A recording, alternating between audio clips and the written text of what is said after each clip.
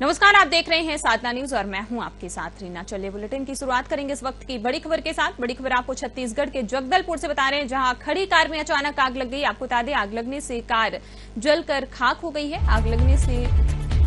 कोई हताहत नहीं हुई है जगदलपुर के धर्मपुरा एल रोड की पूरी घटना बताई जा रही है तो बड़ी खबर आपको छत्तीसगढ़ के जगदलपुर से बता रहे हैं जहाँ